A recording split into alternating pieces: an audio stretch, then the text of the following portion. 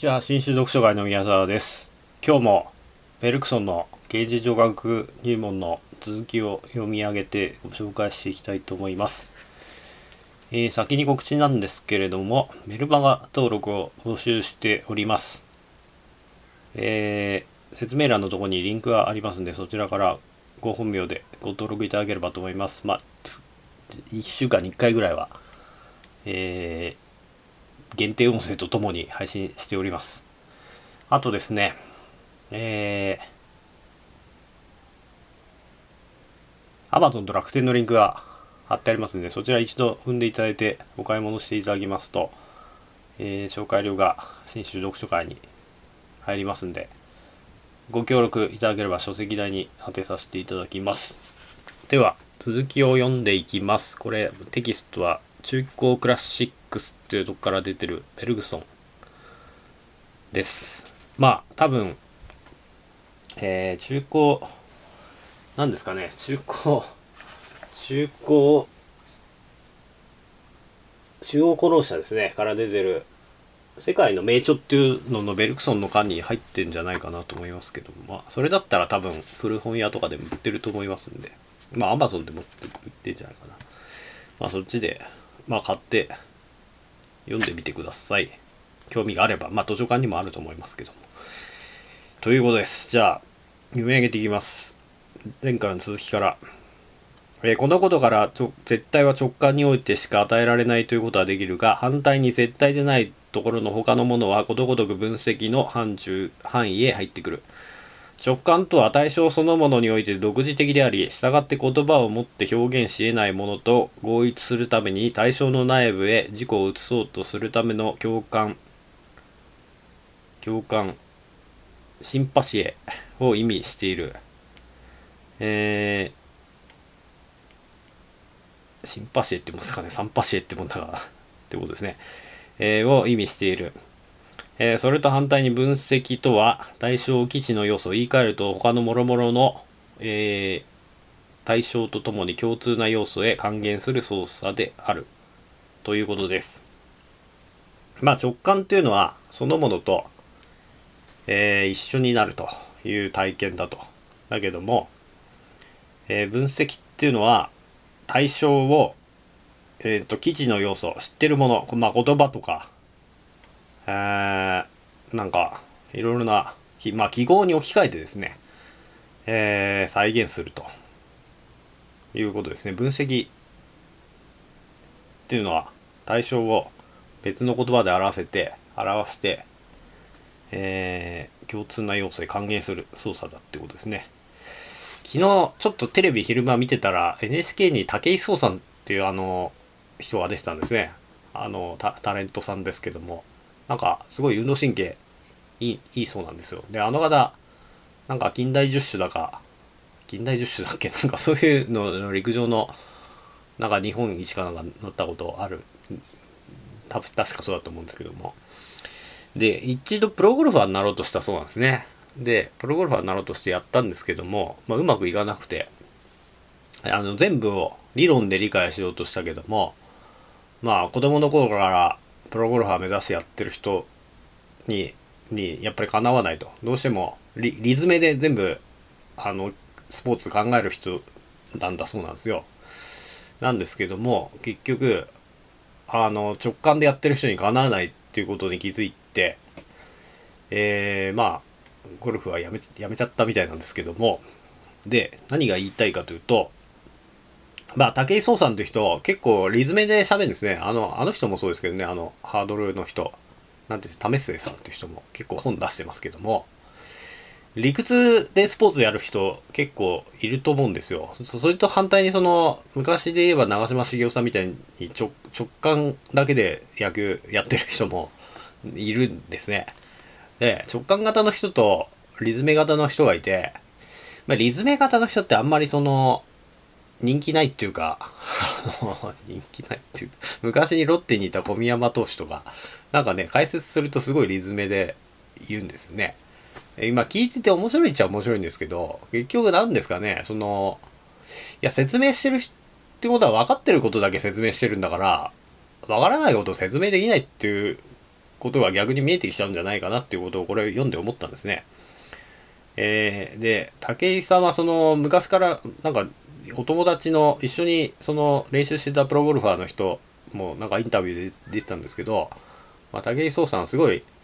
いろいろ理屈を話すと。で理屈を話すんだけど、まあ、教えてくれって言われる時このまあ手首をこんな感じで使えばいいとか、まあ、直感的な物言いをするともっと詳しく教えてくれと再現できるように教えてくれって言われるけどそんなことできないって えー、言ったっていうことは言ってたんですね。で武井壮さんからするとあの昔からやってる人たちはもう感覚でやってるから全然それを言葉にできないと。感覚って直感でプレイしてると。こうやって打てばこういうの打てるよって言うけどその教えてくれる言葉が非常に不親切で全然いくら聞いても分かんないと。あれはこうやればこうできるよ。なんてこういう感じだよとか言うけど全然非常に不親切で。でそういうのを変えたいって言ってたんですね。で多分それは無理だと思うんですね。でそれがそのことはやっぱりあのベルクソンも言ってると。直感っていうのは対象そのものにおいて独自的で言葉を持って表現し得ないものだっていうんですね。えー、だからこそ直感なんですね。で対象の内部だからプロゴルファーのフォームとか見てると、まあ、前世紀のタイガー・ウッズのフォームとか見てるとまあ言葉で説明できますよ。あの体の使い方とかね。でも説明しちゃうと全部分析になっちゃうんですね。で分析になってしまうとあ直感したものと同じものが現れてくるわけじゃないと。直感でいうのはやっぱり、えー、対象の内部に事故を移そうとする共感が必要だっていうことですね。ということなんですよ。えー、これ今私喋っててすごいこの前回もお話ししたんですけども読書も直感的な部分が結構必要だと思うんですね。あの、だから登場人物の気持ちがわかるっていうのは、相手に共感しないと、共感っていうか、まあ、シンクロしないといけないわけですね。共鳴しないと。で、共鳴できないものを読まされると、まあおそらく心が動かされないし、単なる文字の羅列になっちゃうと。だけど共感しないでも作品を語る人っていうのは結構いるわけですね。まあ評論家って言われる人は大体そんな分析するわけですよね。まあ、お前も評論家気取りじゃねえかって私言われちゃうと、ちょっと具の根も出ないんですけども、えー、あの、やっぱり読んだ時の体験、た、例えばですよ、あの、読んで感動する鳥肌が立つとかですよ。本読んでて、あんまり鳥肌立つようなことないですけど、ほとんど。まあ、歌声聞いて鳥肌が立つとか、まあ、映画見て、ラスト見て、エンディングのとこで、えー、鳥肌が立つとか、まあ、皆さんあると思うんですよね。なんかそういう体験。全くない人もいるでしょうけども、何も心動かされない。まあ、あの、食べ物ですよ。もうで、です。食べ物でも美味しいもの食べると、ああ、美味しいってこう感動が、ね、込み上げてくるとか、まあ、あると。それは、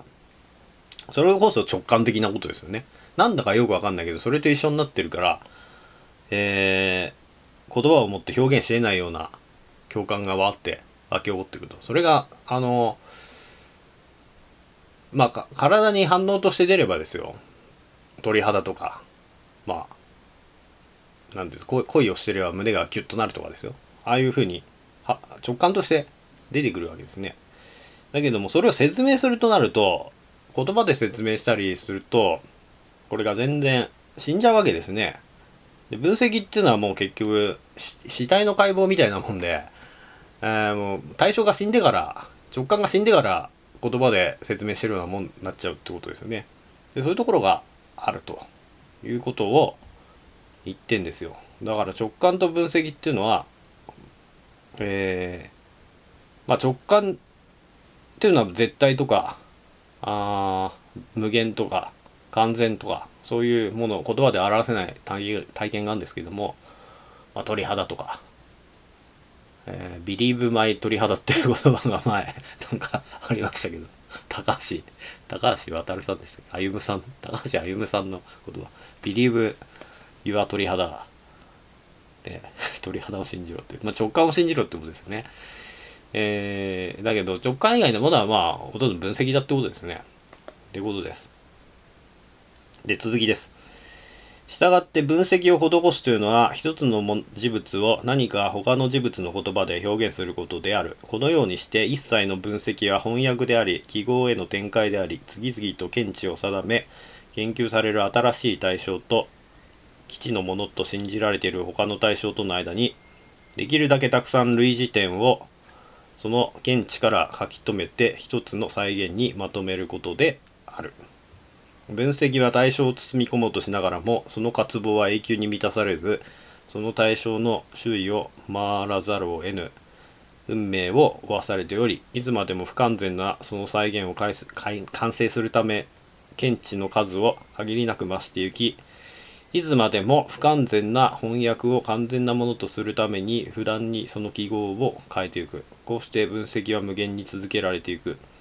ところがえー直感が可能であるならばそれは一つの単純な動作なのであるということです。あ前回アキレスとカメの話しましたね。アキレスがカメに追いつく瞬間というのは指し示せないんですね。あれなんか逃避級数だかなんかになって無限に続いていっちゃうと。だから追いつく瞬間というのをどうやって表現するんだっていうと直感的にはわかるけどもただ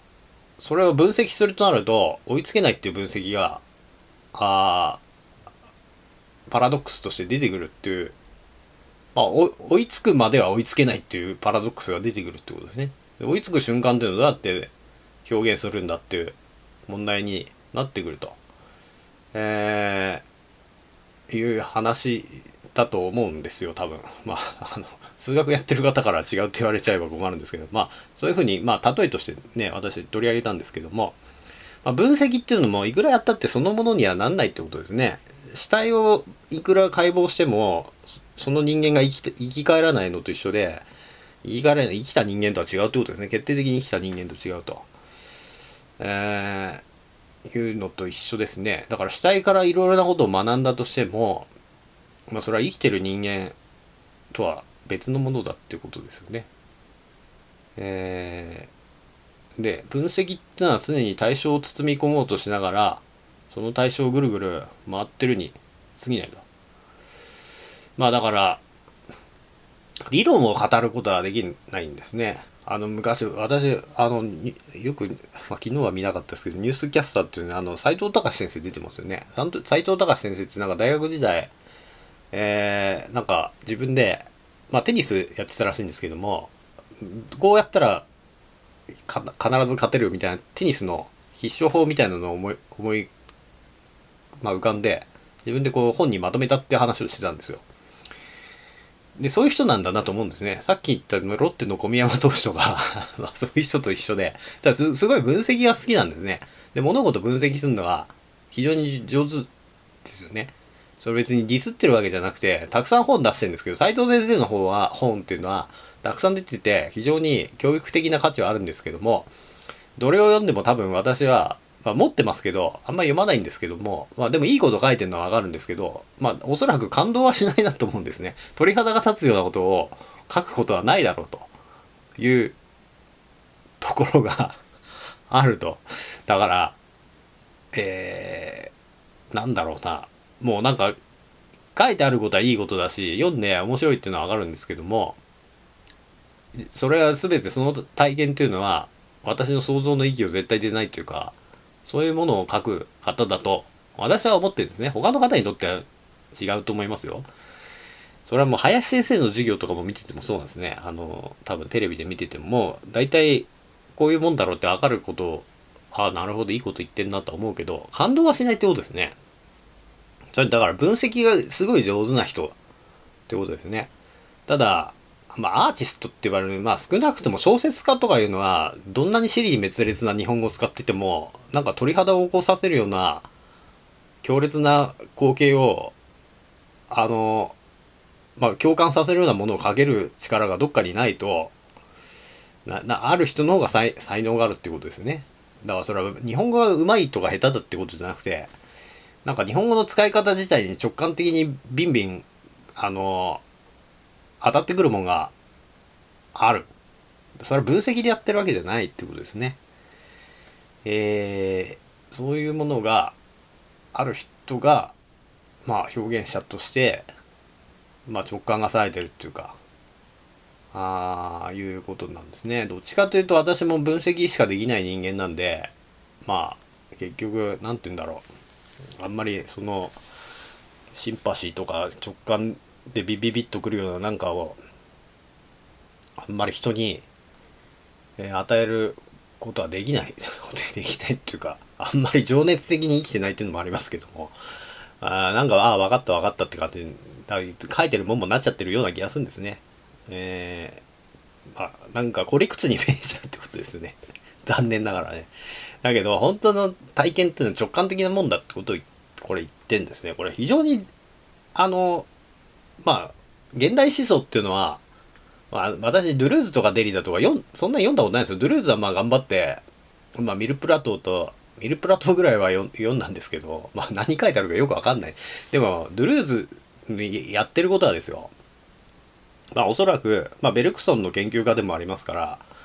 えー、自分の哲学書の中である体験をさせようとしてる哲学者なんだと思うんですよ。まあそれを生成って言ってるのはなんだかわかんないですけど、まああと私日本の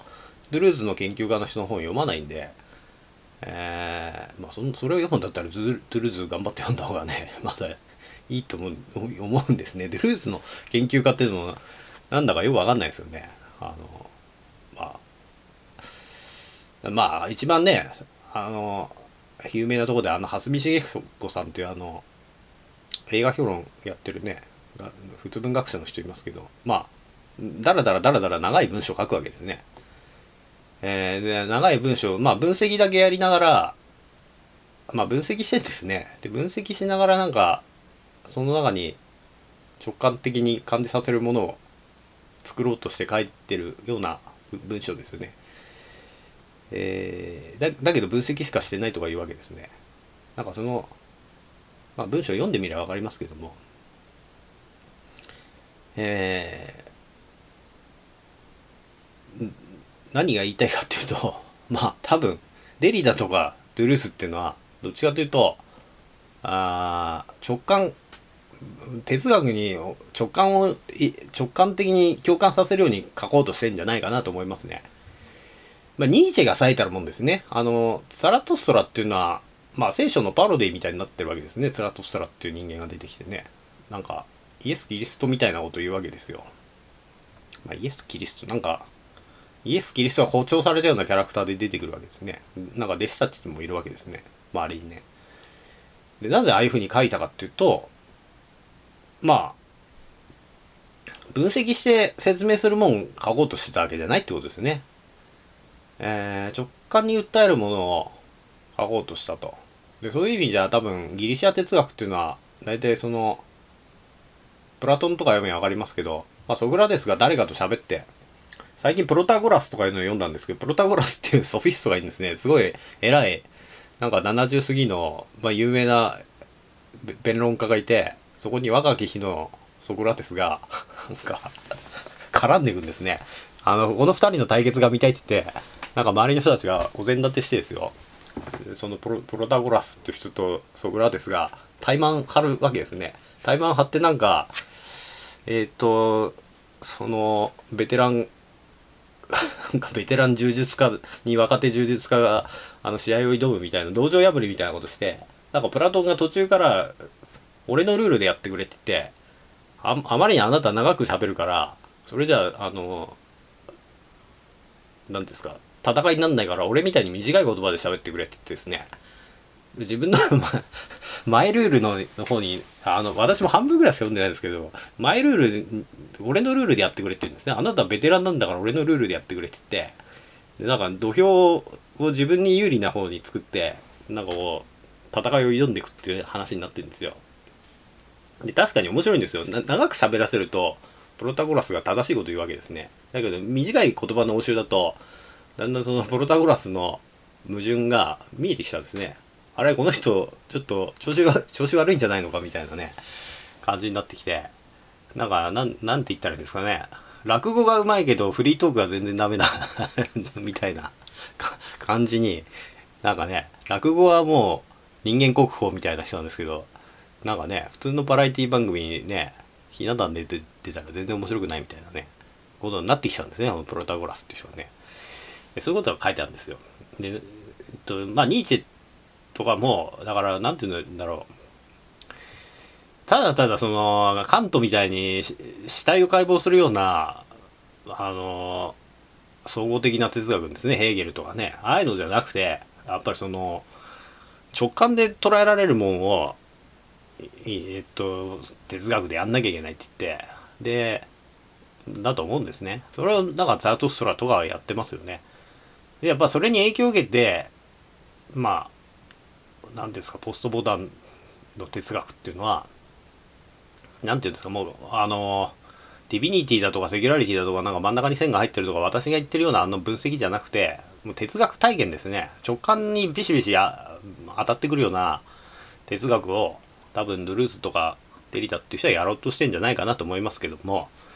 ただ私その読む力がないんで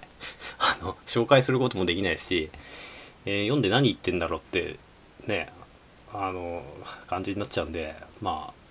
たまにね紹介してくださいってなんかコメントいただくんですけどえー、まあそんなねベルクソンやった方が紹介した方がいいいいとは思いますがだからベルクソンもそういうこと言ってるんですね。直感で分かることをえー、哲学していこうっていうことを言ってですね。分析だけやっちゃうとやっぱつまんないと。死体解剖になっちゃうから。哲学っていうのはもっと直感的にもう鳥肌ビリビリは鳥肌の実践だってことですよねえー、そういうもんなんですよと。で分析する人っていうのはただ直感できないもんだからその対象の周りぐるぐるぐるぐるなんか饒舌に喋ってるだけだと。えー、で再現もできずになんか饒舌かましてるだけだってことを言ってるんですね。ということです。で続きです。そうだとすれば実証的科学の普通の機能が分析であることは分かりやすい。したがって実証的な科学は中んづく記号のを使って作業する。自然科学のうちで最も具体的な生物学でさえも取り扱取り扱うものは生物やその初期感や、えー、解剖学的要素の目に見える形態に限られている。生物学はそれらの形態を比較し、複雑なものを簡単にする、簡単なものに還元するのであり、続めて言えば、生命の働きを言えばその単なる目に見える記号のうちで研究するのである。ある実在を相対的に知るのではなくて絶対的に把握し、外部の諸々の見地から眺めるのではなくて実在にそのものの中に身を移し分析を行うのではなくてその直感を得る方法があるとすれば要するに表現翻訳ないし記号的再現によらずに補足する方法があるとすれば芸事上学こそはその方法である。芸事上学は従って記号なしに済まそうとする科学なのであるということです。えー、まあ実証的科学まあまあ物理とか科学っていうのはまあ数学とか使えますよね。記号とかね。でえー、そういうもので作業するとそれがなくてはできないと。で、一番自然科学、まあフィジック、まあ自然科学っていうのは、自然学、メタフィジックが刑事上学ですから、メタってことは、えー、自然学の一個上ですね。抽象化したものがメタフィジックってことですね。で、普通の自然科学は、まあ生物学であっても、大体はその、ある器官、動物の消化器官だけ、えー、研究するとか、解剖学的要素を目に見える形で皮膚だけ目だけとかまあ同じ種類全部やるとかですよ。まあ猿なら猿の研究だけやるとかまあなんか昆虫だったら昆虫だけやるとか鳥だったら鳥だけやるとか。まあだから取り扱うものは目に見える形態分類して、えー、複雑なものを簡単に説明するようにどんどん還元していくっていうのはあ生物学だと。で総合的に生命の働きを、えー、研究するというよりも目に見える記号のなんか置き換えて、えー、まあだ実験やるときは基本的にマウスとか使うわけですからね。でマウスであればこうだから。でマウスでやった結果からまあ動物一般の生命の働きはこうだとか、まあ、還元しながらやっていくわけですね。ということです。だから、直感的な研究っていうのは自然科学じゃできないってことですね。えー、絶対体験とか、えー、完全とか、まあ、そういうものっていうのはあ自然科学の中では、まあ、モデルとしてはあるにしてもそれだけ研究するわけにいかないと必ずマウスを使って細菌を培養してどうだとかいう話になっちゃうと、えー、いうことに生物学であってもそうだと。まあイワンや物理とか科学をやってる感じですね。ということですね。だけども直感だけは使うのが刑事上学だって言ってるんですね。刑事上学っていうのは記号に置き換えてやるもんじゃないと。記号なしに済まそうとする科学だってことですねえー、って言ってんですね。表現の翻訳とか記号的再現によらず、補足する方法として刑事上学をやるんだってここで宣言してるわけですね。で、これすごいこと言ってると思うんですね。えー、まあ、例えばベルクソンの有名な本に笑いって本があるんですよね。で、私読んだことないんですけども、まあ、読んでも何書いてあるかわかんないと思うんですよ。基本的にその喜劇喜劇の分析やってるんですねモリエールとかの研究所みたいな感じでなんでわここで笑うのかっていうのを哲学的になんか紹介してる 本パラパラ読んだらそんな感じだったんでもともとそこに取り上げられてる作品を知らないとえー、まあ読んだって分かんないですね例えばそのダウンタウンの笑いを研究した本があったとしてですよそれを読んだ人がダウンタウン知らなかったらなんだこの、なんだこの本って話になるんじゃないですか。それと一緒で、なんかモリエールとかなんかフランスの喜劇のこと知らないで読むと、なんだこの本はってなっちゃうんですね、あの笑いって本ね。えー、だと思うんですけども、でも笑いっていうもの自体はこれ直感的な、なんで笑いが込み上げてくるかっていうのを、これ分析するのは難しいんですね。直感的な体験ですから。だけどそれを笑いの哲学っていうのはなかったわけですよね。だけどそれを哲学として扱って、えー、笑いってこういうもんだって言って、記号なしで、なんか、取り出そうとするような哲学書になってんだと思うんですね。記号なしにっていうか、でも言葉で説明せざるを得ないんですけども、だけど、まあ、こういう感覚、まあ、分析でやると、こうこうこういう理由では、振り、ネネタ振りがあって落とすから笑えるんですって話になっちゃうんですけど、それが分析的ですよね。だけど、ネタ振りがあって落とすから、落とすっていうか突っ込むから、でもその、ネタそのものの話にはなんない。ですよね。あの、形式だけ見てるってことですね。ネタを振って突っ込むっていうのはね。えー、その形式について説明するのは分析でできるんですけども、じゃあなんで笑うのかっていうところは直感的な問題だから、説明しようがないわけですね。その説明しようのないところをどうやって説明するのかってことですね。えー、という問題がありますね。まあ、だんだん何言ってるか分からなくなって 聞いてる方もちょっとえー、何言ってんでしょうかって感じになってきちゃいますけども、えー、ということでした。まあ、あの、今日、すごいどうでもいいんですけど、今日なんかツイッター見てたらプラレール、山手線をプラレールで再現したって、なんだか、どっかからど田端から品川まで行くのをプラレールにカメラ載せてですよ。プラレール走らせて、えー、田端から品川までをこれ再現してますっていうのをやってたんですね。見てたら、なんか横に京浜東北線に何本もすれ違うんですね。それ見て私、感動したんですね。あ、京浜東北線って山手線の横取ってんなと思って、思ったんですね。で、あ、すごいな、よくできてるなと思って。でもその京浜東北線がこう山手線とすれ違って遠くの方で走ってるっていう体験が、まあ、絶対体験ですよね。あんまりだから説明して何が面白いんだって言われると難しいんですけども、ああ、俺はよく再現されてんだと。えー、我々が山手線に乗った時に京浜東北線をね、東京駅付近って走ってますから、まあ、品川までね、えー、品川までだったっけ？わかんないけど、それは見た時の感覚が再現されててまあシュールだなと思ったんですよね。ちょっとね。あの山手線を再現してますしね京浜東北線が横に走ってるのがまあちょっと面白かったんですね。えー、それだけなんですけども それなんでそれが面白いのか面白いっていうかそれはあの直感的な体験ですよね。あ走ってるっていう直感的な体験があると。で何が面白いんだっていう説明しろって言われたって説明できないんで見たことある人はああ走ってるなっていう。やっぱりがみたいなやっぱりみたいなそのやっぱり感がじゃあ俺どうやって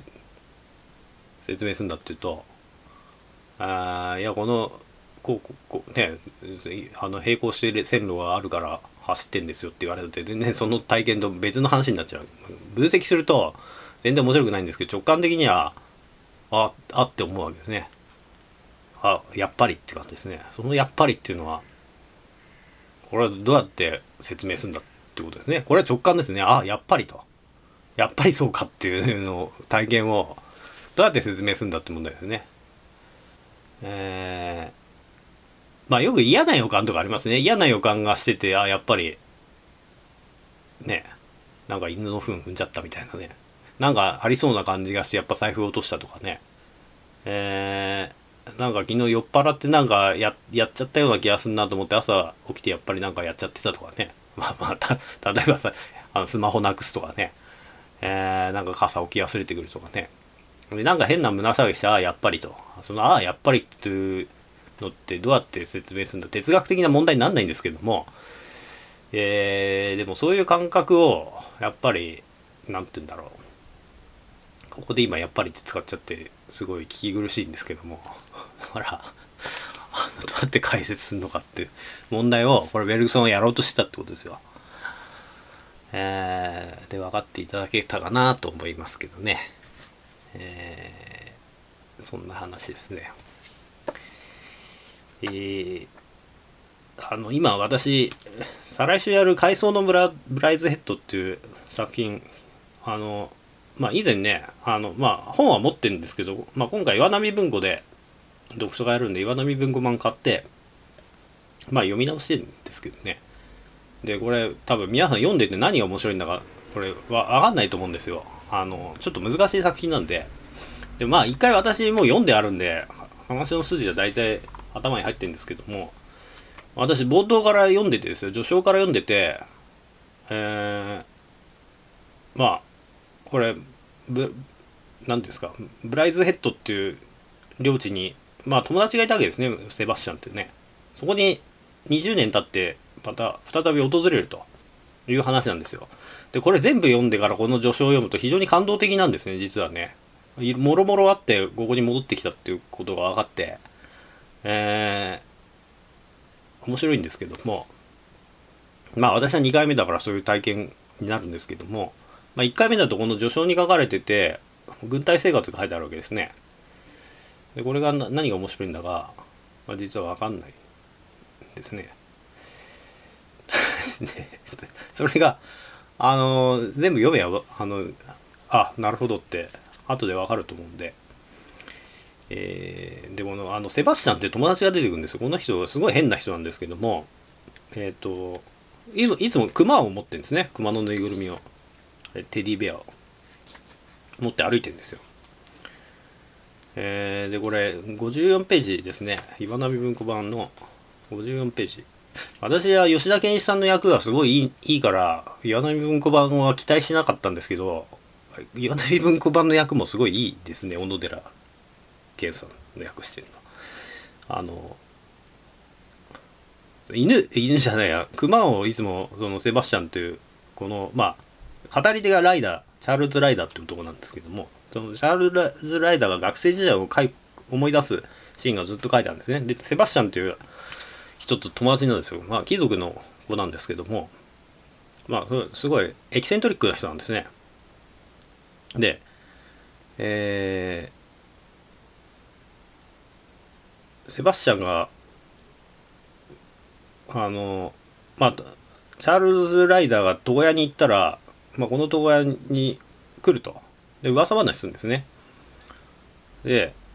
あのテディベア用のヘアブラシも買ってったっていうことが書いてあるんですよ。これ読み上げますけど、あのテディベア用のヘアブラシなんですよ。それも毛の硬いやつじゃなきゃいけない。ブラシをかけるのに使うんじゃなくて、クマのご機嫌が悪い時、仏像と言って脅すのに使うんだとおっしゃるんです。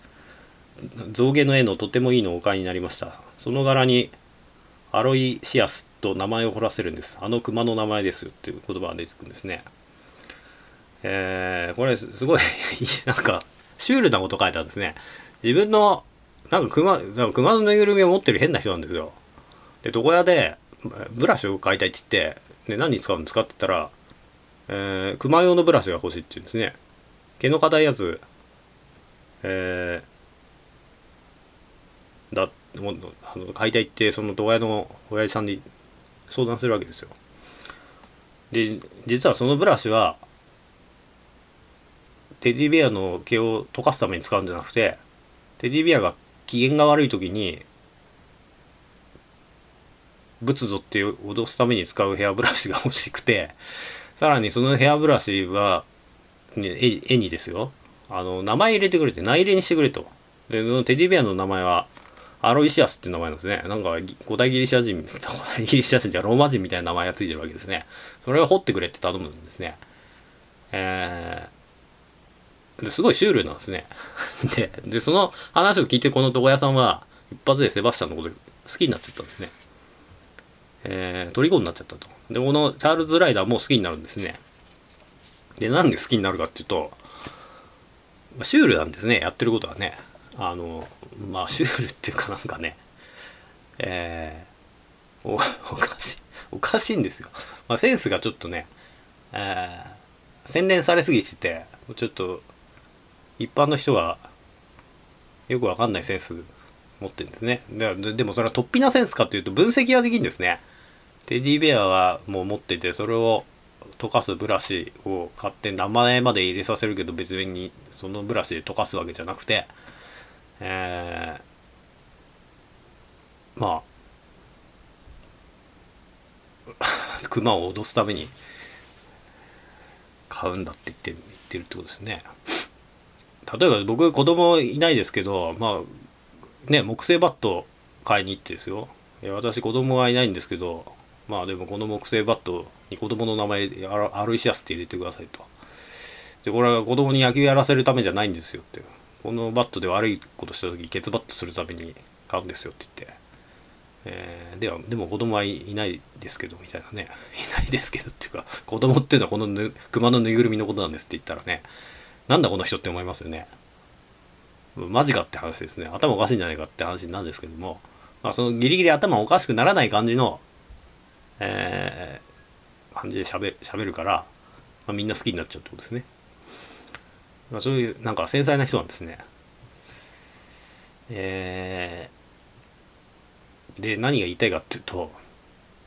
そういうことがずっと書いてあるんですよ、この海藻のブライセットっていうのは。いいなんかあああり得るかもしれないってことが書いてあるわけですねあり得るかもしれないユーモアみたいなああ我々の日常生活って多分そんなに彩りがないと思うんですね実は非常に手を変え品を変え生きてるだけの話だってまあ文化ってものは大体そうですね。えー、例えばテレビ見てバラエティ番組に笑い芸人の人たくさん出てますよね。でこれ言ってることは全部誇張して嘘だって思うと急に冷めるわけじゃないですか見ててね。バカ騒ぎしてるのは。だけどそうはまあまあそこまでまあそこまでテレビが嫌いで見ない人はそもそもテレビなんか持ってないと思いますけど、えー、全部嘘だと思いつつもああ半分ぐらいあり得ることかなとまあ滑らない話はそうですねあのテレビでやってますけどでもあり得るかもしれないっていう話を聞きたいわけであって、事実か事実じゃないかなんてどうでもいいわけですね。でも事実にこだわる人だとしたらそんなもん、お笑い芸人の話してるエピソードトークなんて聞いてらんないわけですよね。だけど、まあ、嘘だと。嘘だけども、それをいかに面白く伝えるのは芸だと。で、その芸の部分を見に来てんだと。いうことですよね。まあ落語家の話してるね、話だってそうですね。もう全然いつの時代の話だよってことを喋ってて。誰だよっていうキャラクター演じてて、えー、全部フィクションで作り事だって思っててもまあ聞きたいと思うのはあそこに芸があるからですねえー、ということですよでその芸の芸っていうのは直感的な体験だってことですよね。直感で感じるもんで分析するとつまんなくなっちゃうわけですよね。あ分析する人いますよ。だけどまあ分析にも分析でそのただ分析してんじゃなくてあこういう角度で見方があんだっていうような逆ね自分の盲点ついてくるような分析だったら読む気になりますけど自分が思ってたことそのまま書いてあったらまあそれでもうまく的確に表現されてればなるほどと思うかもしれないですけども、えー、直感的に、まあ、直感的なものっていうものだから常にさっきの京浜東北線の話じゃないですけども我々戻求めてんですね。えー、それが我々の生活に彩りを与えてるってところが大いにあるだと思うんですよ。私のこんな喋ってる何千本も音声アップしてますけど、まあ無意味ですよね、これね。私、やってて思うんですよ。だってこれ聞いたって別に、まあ暇つぶしにはなるけど、勉強になりましたって言われたって、でも何の勉強になるんだってなんないと思うんですよね。よ くよく考えてね。あの、まあ例えばね、あの作品のことが詳しく分かりましたって言って、まあ分かったからどうなんだって話でもありますよね。えー、まあ分かったっていう楽しさがあるってことですね。あ、なるほど、こういうことが書いてあるんだって言って分かって納得したっていうことぐらいだったら、まあその体験っていうのは何の価値があるのかっていうと、えー、実はあんまり目に見えて何かね、健康になるとかですよ。なんかね、身長が伸びるとかね、えー、なんかね、えー、ああるわけじゃないんですよ。で、か、か、まあ賢くなるのかどうかは別、まあ賢くなんかならないですよね。別に聞いてたってね、おそらくね。えー、別になんか資格試験に受かるような話してるわけじゃないし、まあ、それでね私の音声聞いて給料がアップしましたなんてこともないでしょうし、えー、だからまあ暇つぶしでしかないとでもよく考えると大体のものが暇つぶしでできてるわけですねその人間、まあ、テレビなんて最たるもんですよなんかまあ、広告媒体なわけなんですね。基本的にね、CM が入っててね。その間になんか暇つぶしみたいなものが流れてて、まあニュースとかありますけど、だってニュースだって知ら知っても知らなくてもどうでもいい話なんですね。あの、国際情勢なんてね、あの別に知らなきゃ知らないであれなんですけど、まあ知ってるとね、北朝鮮がミサイル飛んでぐらい、飛ばしてぐらいね、不安になったり頭に来たりするし、までも知らなきゃ別に知らないで特に、あの、日常生活に支障があるわけでも実はないわけですね。でもまあ日常生活に支障がありも何もしないものに結構囲まれてて、えー、一喜一憂したり鳥肌立ったり怒ったりそんなことをしながら人間結構生きてるってことですね。じゃないと何ていうかすごい退屈だっていうのもありますし、えー、まあ彩りもなくなっちゃうと生活に。えー、ということだと思います。だからその彩りの部分をどうやってえっ、と自分で何ていうか見つけていくのかっていう問題が人それぞれ、まあ、あるんだと思うんですね。えー、それが読書することが彩りであると。読書してその登場人物に感情移入して一喜一憂するのが彩りだと思う人もいればもちろんねディズニーランドに行く人が彩りだと。アトラクションに乗ってキャキャ騒ぐのが彩りだって人もいればなんか誰かのコンサートに行ってね、曲を聴くのが彩りだね富士富士ロックフェスティバルとかに行くのが彩りだっていう人もいればね。なんか B 級グルメのため歩きをするのが彩りだっていう人もまあいるいると思いますね。まあそれぞれになんか求めてる体験があってまあそれを仕事の合間にね休みの日に求めてると。いうことですね。だから直感を求めてるわけですね。直感的な体験をどっか求めてるだと思うんですね、えー、でもなかなかそれを共有するっていうのは共有したり人に説明し分析して説明しても分かってもらえないですね。いくらなんかそのディズニーランドのアトラクションが好きだと言ったってですよ。行ってきた感動を人に伝えるって難しいですよね。なんかね。えーこうだったああだったって言われたってね。行ったことない人にちょっとポカーンとしちゃいますよね。もうすごい怖かったって。なんか言われたとしてもですよ。だけど面白かったって言われたって何の話だってね。同じ直感で体験したものを説明されたって追体験できないですから。えーだけど刑事上学っていうのは、まあ、その直感ってものだけを取り出して記号なしで、えーガツンと説明してくると。そういう、えー話だと。いう話になってます。あの大川翔平さんの伸びの中に出てきましたね。この道をもう二度と通った時に同じ道を来た道を二度と通らないと思ったとかね。で一度も来たことがないのに見たことがある光景だったとかね。ああいうのはベルクソンの引き合いに出して書いてましたけど、えー絵も言われぬまあね体験というのをどうやって説明するのかというのがこのベルクソン哲学ってことですね。えー、ということになります。ということでした。最後まで聞いていただいてありがとうございました。よろしければチャンネル登録、グッドボタンお願いします。以上です。